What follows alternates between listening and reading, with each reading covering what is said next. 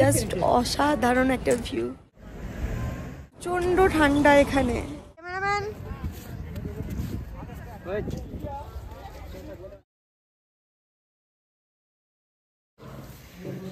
প্রচণ্ড ঠান্ডা হাত জমে গেছে পুরো।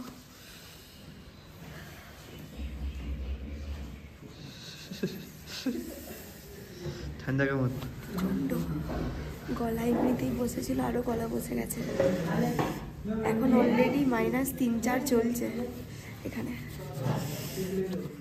এটা হচ্ছে আমাদের মানালিতে ডে ওয়ানের ভিডিও আর আমি তো এটা একদম শিওর ছিলাম যে ডে ওয়ান কেন প্রত্যেকটা দিনই আমি ঠান্ডায় কাঁপবো।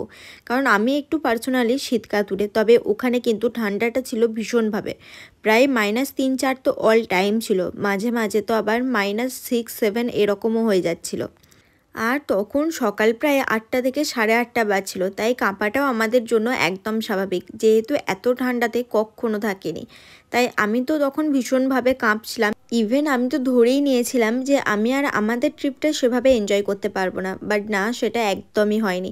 আমি তো ট্রিপটা খুব এনজয় করেছি ইভেন ওই ঠান্ডা ঠান্ডা ব্যাপারটা গা শোয়া একটা হয়ে গিয়েছিল, সেরকমভাবে আর লাগেনি। কালকেটা পুরো লস হয়ে গিয়েছিল। মানে ব্রেকফাস্টই কালকে সাড়ে আটশো টাকা লেগে গিয়েছিল, অথচ টেস্টিও না। আর যে মাছ মুখ বেটার হাই, মানালিতে আজকে ডে ওয়ান আর এখানে প্রচণ্ড ঠান্ডা। মানে প্রায় তিন থেকে চার ডিগ্রির মতো চলছে মাইনাসে তো চলো বাইরে গিয়ে তোমাদের সাথে সব কিছু শেয়ার করছি। এখানকার যে স্ট্রিট ডগগুলো আছে, সেগুলো এত কিউট ছিল, মনে হচ্ছিল এক্ষুনি কোলে তুলে নিয়ে চলে আসি। যদিও কুকুর কিন্তু আমি ভীষণভাবে ভয় পাই। তারপরেও এতটাই কিউট লাগছিল, সত্যিই বলার মতো কিছু ছিল না। আর এখানে যেই গাছগুলো দেখতে পাচ্ছ, এগুলো হচ্ছে আপেল গাছ। সেই সবে সেখানে ফুল হচ্ছে। এই টাইমটাই মানে আমি যেই সময় আমার ভিডিও আপলোড করছি, এখন যদি যেতাম, তাহলে হয়তো গাছগুলোতে বড় বড় আপেলও দেখতে পেতাম। কিন্তু যেই টাইমটায় গিয়েছিলাম, তখন তো আর এই আপেলের অপশনটাই ছিল না, কারণ সেই সবে মাত্র ফুলগুলো হচ্ছে। আমার ড্রেসটা দেখে খুব অড মনে হতে পারে হ্যাঁ এটা তোমাদের ভাবাটা খুব স্বাভাবিক। তবে এই ড্রেসটা পরে কিন্তু, এই ড্রেস মিন্স এই শাড়িটা পরে আমি অনেকগুলো পিকচার ক্লিক করেছি, যেগুলো তোমাদের সাথে অবশ্যই শেয়ার করব। এই ভিডিওতে হোক আর না হোক, অন্য কোনো ভিডিওতে তো অবশ্যই থাকবে। সকাল সকাল যদি এরকম ভিউ দেখতে পাওয়া যায় তাহলে কার না ভালো লাগে বলো তো আর এখানে কিন্তু এই সময়টা কনস্ট্রাকশনেরও কাজ চলছিল আর এরকম রাস্তা দেখে আমরা আমাদের ড্রাইভারকে বলছিলাম अरे हम नहीं चला रहे हैं साला रोड ही बवासीर है ये भी आपको ये वाला भी है एक ये वाला भी आएगा ये और ये ये सब कलर ना ये नहीं आएगा ये वाला आ जाएगा ব্লু ব্লু ব্লू ये चलेगा? हाँ हाँ आ जाओ। अपने धीरे से डालना। उधर चलो थोड़ा कोने में चलो। साड़ी फोल्ड हो जाता है ना फिर दिक्कत होता है। पहन के अभी नहीं जाना। बाद में पहनना। ठीक है। एक अब आपने दूसरा यहाँ डालना सिस्टर ठीक है? यहाँ पे डाल। बस ऐसे थोड़ा सा हाँ करो साड़ी में थोड़ा एक तो हार्ड वाला पहना है ना आपने? दिक्कत होता है इसमें थोड़ा। दोनों हाथ करो सिस्टर एक साथ। बस ये देखो कितना भालो आ गया साइज़ आप सीधे रहो। ओके देखो। डन ठीक है? অটল টানেল যাওয়ার জন্য এই ধরনের ড্রেসগুলো নেওয়াটা কিন্তু বাধ্যতামূলক। তবে তোমরা চাইলে নাও নিতে পারো যদি তোমাদের কাছে স্নোপ্রুফ প্যান্ট থাকে। আমাদের কাছে স্নোপ্রুফ জ্যাকেট তো ছিল, কিন্তু প্যান্ট ছিল না। আর বরফের মধ্যে গিয়ে বরফ নিয়ে খেলাধুলা করব না, এটা তো কোনোভাবেই পসিবল না। তো চলো, এখানে তো আমাদের ড্রেস নেওয়া কমপ্লিট হয়েই গেছে। এবার আবার আমাদের যাওয়া যাক আমাদের নিজেদের গন্তব্যের দিকে, অটল টানেল। তোমরা কে কে মানালি গেছো বা মানালি গিয়ে অটল টানেল গেছো আমার ভিউয়ার্স বা সাবস্ক্রাইবারের মধ্যে তারা একটু তাড়াতাড়ি কমেন্ট করো।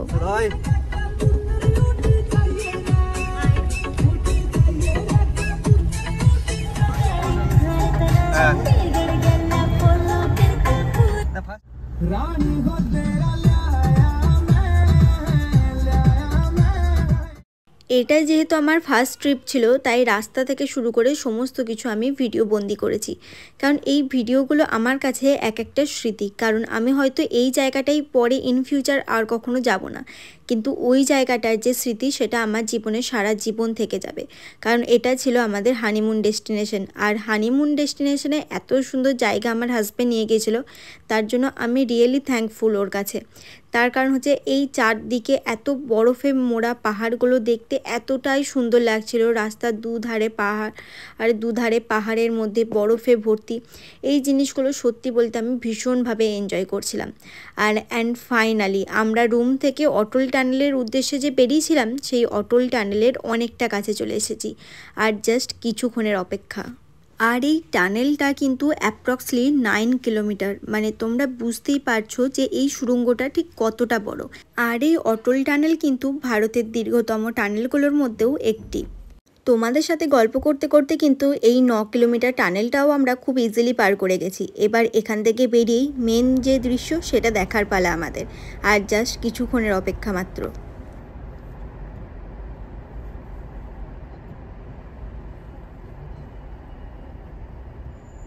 আর এই টানেলের অপর প্রান্তেই হচ্ছে জান্নাত। জান্নাত কেন বলছি জানতে চাইছো তো? তোমরা জাস্ট নিজেরাই চোখে ভিউটা দেখে নাও।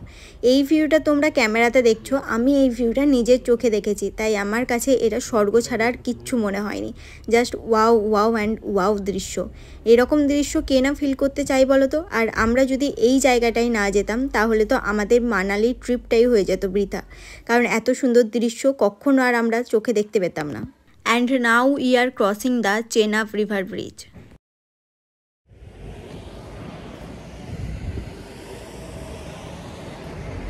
হাই প্রচণ্ড ঠান্ডা। শাড়ি পরে ফটো শুট হচ্ছে। এত সুন্দর জায়গাটা যে শাড়ি পরে ফটোশ্যুট না করলে মানে পুরোটাই বৃথা।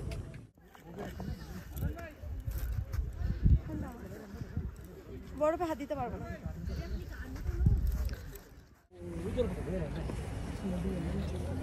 জাস্ট অসাধারণ একটা ভিউ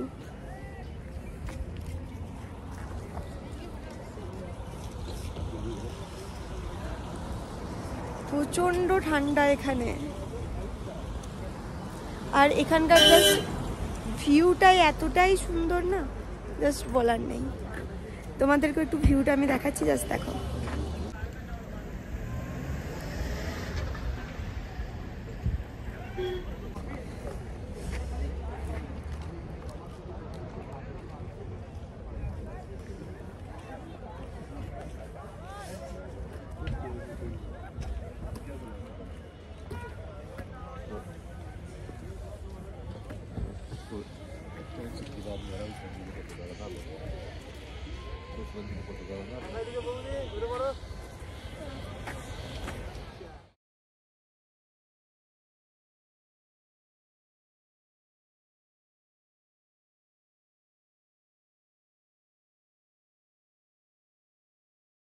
চলো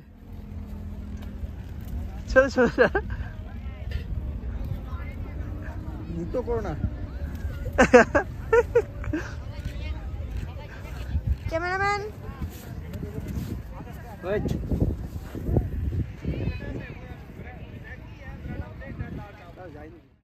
এই দিন জিতের জন্মদিন থাকার জন্য কিন্তু আমাদের দুজনের কাছেই এই দিনটা খুব স্পেশাল ছিল। এই দিনটা তাই আমরা আমাদের লাইফে কোনো দিন ভুলতে পারব না। আর এখানে কিন্তু নানান ধরনের অ্যাক্টিভিটি হচ্ছিল, তবে এই অ্যাক্টিভিটিগুলোতে আমরা পার্টিসিপেট করিনি।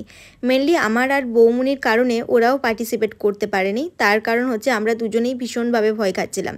আমরা এখন চেনাম নদীর একদম ওপরে আছি। যদিও এখন এগুলো পুরোটাই বরফে ঢাকা আছে, তবে এই টাইমটা মানে আমি এখন যখন এই ভিডিওটা আপলোড করছি, এই টাইমটায় যদি যাওয়া হয়, তাহলে এখানটা কিন্তু তোমরা নদী দেখতে পারবে, বরফ না। এখানে বেশ অনেকটা টাইম থাকার পরে কিন্তু আমরা ডিসাইড করি যে এবার সোলাং যাব। কারণ আবার পরের দিনকে সোলাং আসা একদমই পসিবল না। তবে আমাদের শিশু যাওয়ারও ইচ্ছা ছিল, কিন্তু টাইম এত হয়ে গিয়েছিল যে আমাদের পক্ষে দুটো জায়গা কভার করা কোনোভাবেই পসিবল ছিল না। তাই এখন আমরা রওনা দিয়েছি সোলাংয়ের উদ্দেশ্যে। আর এই যে সোলাং ভ্যালিতে তো আমরা চলে এসেছি। সোলাং ভ্যালিতে কিন্তু মেনলি প্রচুর ধরনের অ্যাক্টিভিটিস হয়। প্রথমে যেহেতু আমরা প্রচুর বরফ দেখতে চেয়েছিলাম, তাই ফার্স্টেই আমরা অটল টানেল গিয়েছিলাম, তারপরে আমরা এখানে সোলাঙে এসেছি। সোলাং ভ্যালি কিন্তু আগেই বলেছি মেনলি অ্যাক্টিভিটিস করার জন্য। এখানে যে বরফ পাবে না এমনটা না, তবে এখানে পরিষ্কার বরফটা পাবে না অটল টানেলের মতো। অটল টানেলে অত অত বরফ পেয়ে যে আমাদের টাইমটা কীভাবে পেরিয়ে গিয়েছিল সেটা তো আমরা নিজেরাও বুঝতে পারিনি। ইভেন সেদিনকে তো আমরা লাঞ্চ পর্যন্ত করিনি। কারণ ওখানে এতটাই টাইম পার করে দিয়েছিলাম। তারপরে বাড়ি ফেরার পথে যদিও আমরা ম্যাগিটা খেয়ে নিয়েছিলাম অটল টানেলেই হ্যাঁ তবে ওখানকার ম্যাগি কিন্তু ভীষণ টেস্টি ছিল। সেগুলোর ভিডিও ক্লিপে আর নেই। মানে তখন এতটাই খিদে পেয়ে গিয়েছিল যে আর ভিডিও করতেই পারিনি। তো চলো এখানে তো সোলাং ভ্যালিতে তোমাদেরকে মোটামুটি সব কিছু দেখিয়েই দিলাম যে কি আছে না আছে। মেনলি অ্যাক্টিভিটি করার জায়গা তবে আমারও অ্যাক্টিভিটি কিছু কিছু জিনিস করার খুব শখ ছিল তবে টাইম না থাকার জন্য আর কিচ্ছু করতে পারিনি। এবার যাওয়া যাক আমাদের হোটেলের উদ্দেশ্যে কারণ প্রায় অনেকটা টাইম পার হয়ে গেছে।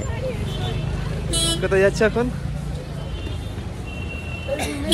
রওনা দিচ্ছি এবার। বহুত হয়ে গিয়া।